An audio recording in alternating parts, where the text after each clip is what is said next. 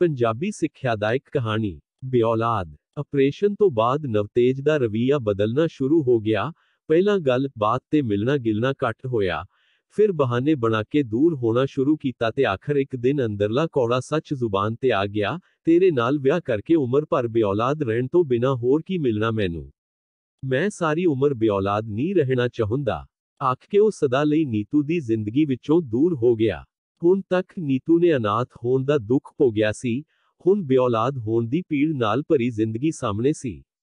ਨੀਤੂ ਅੱਜ ਤੱਕ ਕਦੇ ਵੀ ਇਸ ਤਰ੍ਹਾਂ ਦੁਖੀ ਨਹੀਂ ਸੀ ਹੋਈ ਜਿਵੇਂ ਨਵਤੇਜ ਦੇ ਜਾਣ ਤੋਂ ਪਿੱਛੋਂ ਰਹਿਣ ਲੱਗੀ ਉਹ ਜਿਵੇਂ ਕਿਸੇ ਡੂੰਗੀ ਹਨੇਰੀ ਖੱਡ ਵਿੱਚ ਜਾ ਡਿੱਗੀ ਹੋਵੇ ਦੁਨੀਆ ਤੋਂ ਬੇਖਬਰ ਆਪਣੇ ਆਪ ਤੋਂ ਬੇਖਬਰ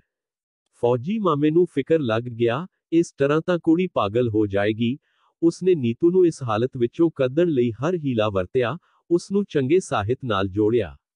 ਧਰਮ ਕਰਮ ਵੱਲ ਮੋੜਿਆ ਉਸ ਨੂੰ ਦੁਬਾਰਾ ਨੌਕਰੀ ਤੇ ਜਾਣਾ ਸ਼ੁਰੂ ਕਰਵਾਇਆ ਉਹ ਨੀਤੂ ਨੂੰ ਜ਼ਿੰਦਗੀ ਜਿਉਣ ਲਈ ਪ੍ਰੇਰਦਾ ਕੁਝ ਕਰਨ ਲਈ ਪ੍ਰੇਰਦਾ ਹਰ ਵਕਤ ਹੌਸਲਾ ਦਿੰਦਾ ਰਹਿੰਦਾ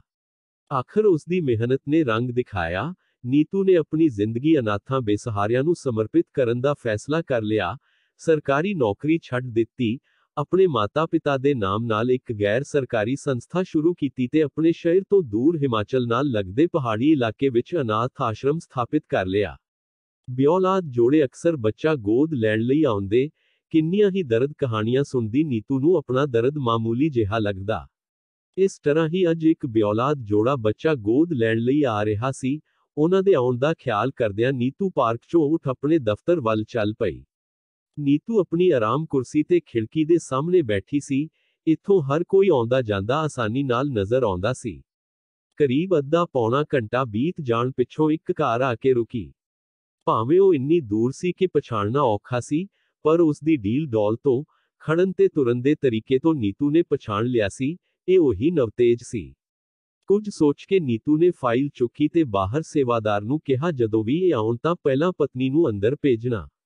ਆਪ ਉਹ ਵਾਪਸ ਆਪਣੇ ਦਫ਼ਤਰ ਵਿੱਚ ਆ ਬੈਠੀ ਕੁਝ ਮਿੰਟਾਂ ਦੀ ਉਡੀਕ ਪਿੱਛੋਂ ਰਮਨ ਦਫ਼ਤਰ ਵਿੱਚ ਦਾਖਲ ਹੋਈ ਕੁਝ ਕਾਗਜ਼ੀ ਕਾਰਵਾਈ ਹੋਣੀ ਸੀ ਤੇ ਕੁਝ ਸਵਾਲ ਜਵਾਬ ਸੀ ਜੋ ਕਿ ਬੱਚਾ ਗੋਦ ਲੈਣ ਵਾਲੇ ਹਰ ਵਿਅਕਤੀ ਲਈ ਲਾਜ਼ਮੀ ਸੀ ਨੀਤੂ ਨੂੰ ਪਤਾ ਸੀ ਕਿ ਨਵਤੇਜ ਸਵਾਲਾਂ ਦੇ ਜਵਾਬ ਦੇਣ ਵੇਲੇ ਉਸ ਦੇ ਸਾਹਮਣੇ ਅਸਹਿਜ ਮਹਿਸੂਸ ਕਰੇਗਾ ਤਾਂ ਉਸਨੇ ਇਕੱਲੀ ਰਮਨ ਨੂੰ ਪਹਿਲਾਂ ਅੰਦਰ ਬੁਲਾਉਣ ਵਾਲਾ ਰਾਹ ਚੁਣਿਆ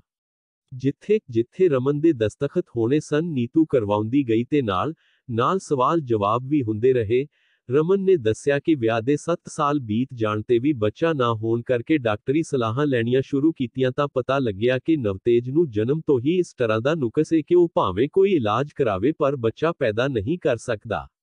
ਡਾਕਟਰਾਂ ਨੇ ਹੋਰ ਕਈ ਤਰੀਕੇ ਸੁਝਾਏ ਪਰ ਉਹਨਾਂ ਨੇ ਬੱਚਾ ਗੋਦ ਲੈਣ ਨੂੰ ਹੀ ਤਰਜੀਹ ਦਿੱਤੀ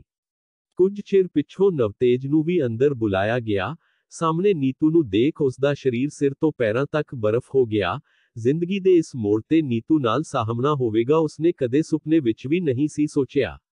ਨੀਤੂ ਨੂੰ ਸਤਿ ਸ਼੍ਰੀ ਅਕਾਲ ਆਖ ਉਸਨੇ ਹੱਥ ਜੋੜੇ ਪਰ ਇਸ ਤਰ੍ਹਾਂ ਜੋੜੇ ਜਿਵੇਂ ਕੋਈ ਅਪਰਾਧੀ ਜੱਜ ਸਾਹਮਣੇ ਸਜ਼ਾ ਸੁਣਨ ਤੋਂ ਪਹਿਲਾਂ ਰਹਿਮ ਦੀ ਅਪੀਲ ਕਰ ਰਿਹਾ ਹੋਵੇ ਨੀਤੂ ਨੇ ਬੜੀ ਸਾਦਗੀ ਤੇ ਠਰਮੇ ਨਾਲ ਫਾਈਲ ਉਸਦੇ ਅੱਗੇ ਕਰਦਿਆਂ ਕਿਹਾ ਤੁਹਾਡੀ ਪਤਨੀ ਦੇ ਦਸਤਖਤ ਹੋ ਚੁੱਕੇ ਹਨ ਬਸ ਤੁਹਾਡੇ ਬਾਕੀ ਹਨ ਜਿੱਥੇ ਜਿੱਥੇ ਦਸਤਖਤ ਕਰਨ ਨੂੰ ਕਿਹਾ ਗਿਆ ਨਵਤੇਜ ਚਾਬੀ ਦਿੱਤੇ ਖਿਡੌਣੇ ਵਾਂਗ ਕਰਦਾ ਰਿਹਾ ਬਾਕੀ ਦੀ ਕਾਰਵਾਈ ਆਸ਼ਰਮ ਵਿੱਚ ਕਰ ਲਵਾਂਗੇ ਆਓ ਚੱਲੀਏ ਕਹਿੰਦਿਆਂ ਨੀਤੂ ਨੇ ਫਾਈਲ ਚੁੱਕ ਲਈ ਹੁਣ ਤੱਕ ਬੁੱਤ ਬਣੇ ਹੋਏ ਨਵਤੇਜ ਨੇ ਨੀਤੂ ਵੱਲ ਦੇਖ ਕੇ ਫੇਰ ਹੱਥ ਜੋੜੇ